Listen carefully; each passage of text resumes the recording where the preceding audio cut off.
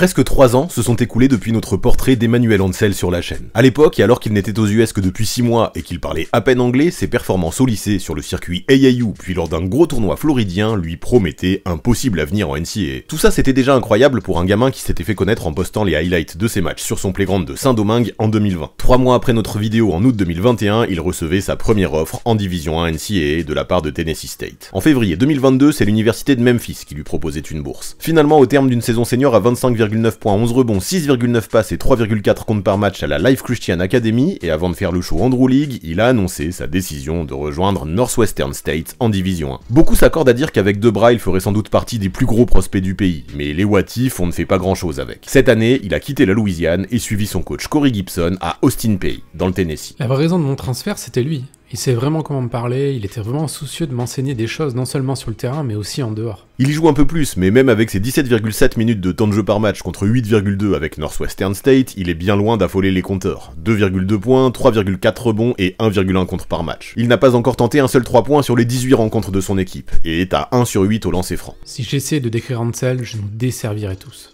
Il joue en division 1 avec un seul bras. Et je peux vous assurer que ce n'est pas du baratin ou une opération de com. Il a démarré les 5 derniers matchs pour nous la saison dernière.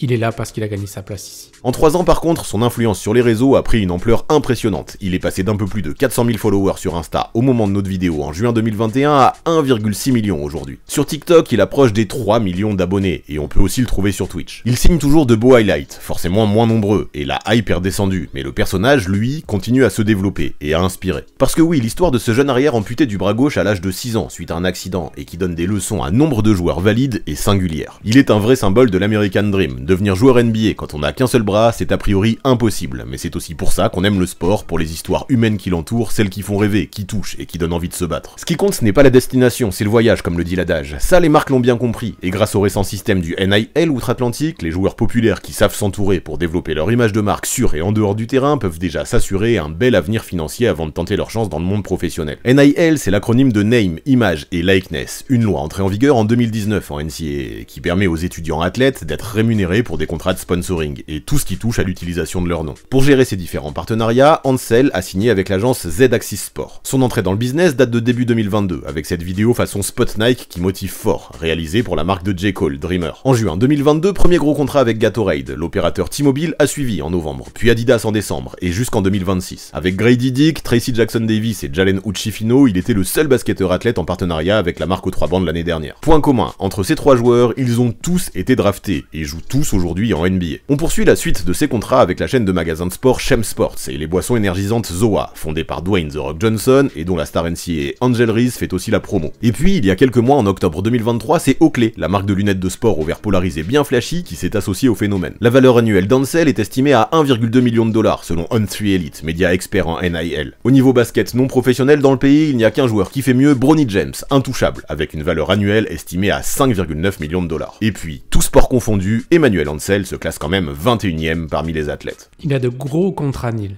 et c'est un être humain tellement humble, tellement généreux. Il se fond dans le groupe et c'est une source d'inspiration pour de nombreuses personnes. Cet argent gagné grâce à sa notoriété, il l'utilise en partie pour aider sa famille et sa communauté en République dominicaine. Sa grand-mère et ses amis vivent toujours dans le quartier pauvre et réputé dangereux de Los Mina à Saint-Domingue, la capitale. Grâce à lui, des terrains de basket y ont vu le jour, des bâtiments ont aussi été restaurés et un barbershop a même fait son apparition. Ce qui représente le plus pour moi, c'est mon quartier, d'où je viens. Pas trop mon pays, mais vraiment mon quartier. Grandir là-bas, ça a fait de moi qui je suis, Los Mina.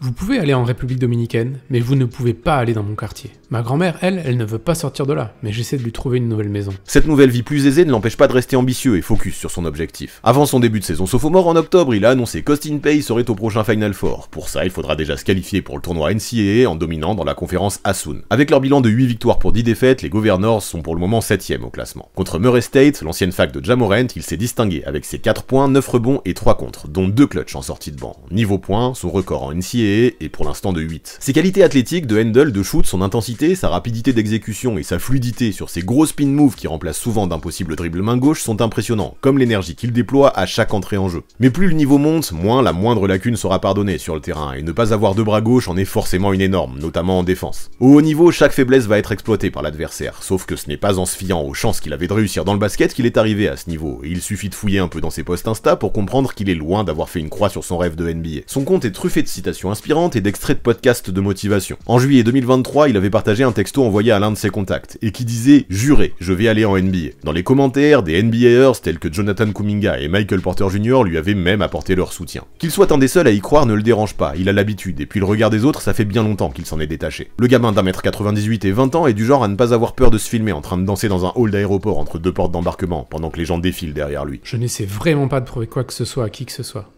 La seule personne à qui je dois prouver, c'est moi-même.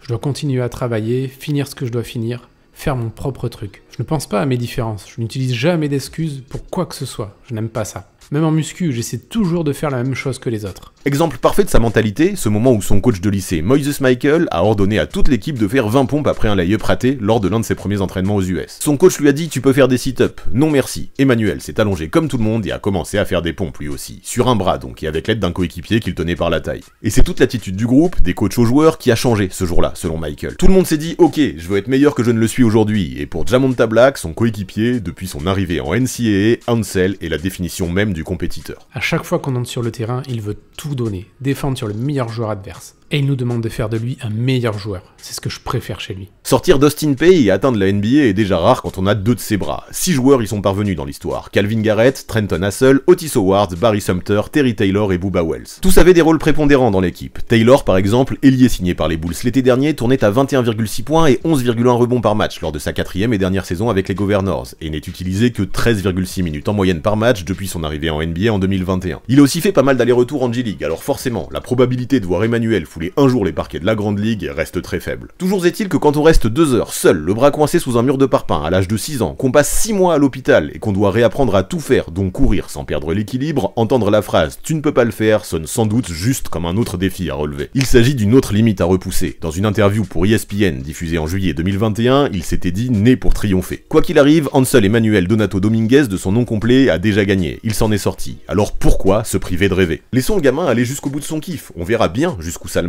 Jusqu'à une quatrième et dernière année universitaire déjà, peut-être en G-League, c'est possible, même sur un parquet NBA un jour, ou dans une autre ligue professionnelle comme a pu le faire son père, Ansel Donato avant lui. Et puis, il pourrait aussi faire carrière et briller dans un tout autre domaine, qui sait. A noter aussi qu'il devrait être présent au gala Ball Together, organisé par l'association Au cœur du sport, à Lillebonne, en Seine-Maritime, en juin prochain. Fondée par l'ancien joueur pro Bams Kanté, elle vise à favoriser l'intégration par le sport, changer les regards et à décloisonner les univers dits valides non valides. L'événement devait avoir lieu en décembre dernier, mais a été finalement reporté.